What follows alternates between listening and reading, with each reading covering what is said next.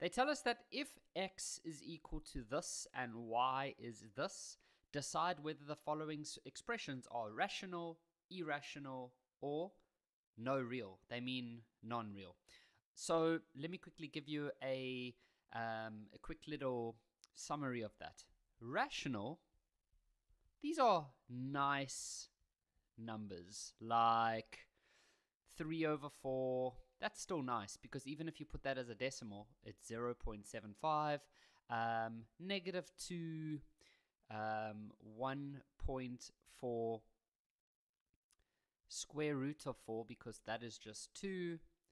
See, all of these are nice numbers. Uh, 1, comma 36 minus 7.12. Everything's nice. There's nothing weird like long decimals, okay? Now, if it's irrational, then it's just messy, like 1, comma 36, 1, 8, 9, 1, 1, 1, 4, 2, 3, and the decimals just go on and on and on. So decimals don't repeat. Okay, now non-real, or they said no real, that is when you are going to get a negative inside a square root. Okay, so for example, that. If you go type that in the calculator, it's going to give you a math error. Okay, so that is what we are going to look at for this question. So for the first one, they said that we just multiply x and y together. So x is square root 2 and y is negative 2. If you multiply those together, you're just going to get minus 2 square root 2. Now, in decimal form, that is pretty ugly. It's like negative 2.828, and then the numbers just don't, the decimals don't repeat. It's just random. So that's definitely going to be like this one. So we call that irrational. So this first one is going to be irrational. Okay.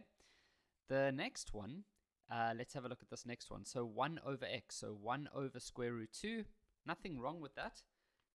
Go type it on the calculator and let's see if it gives us something nice.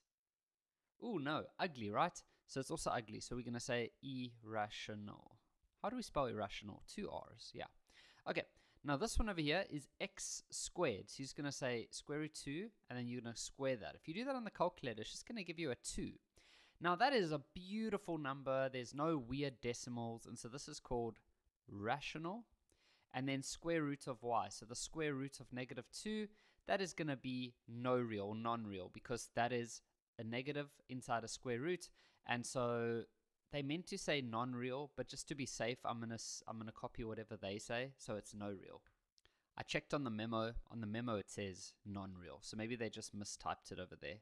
Um, should be the word non and then a gap and then real.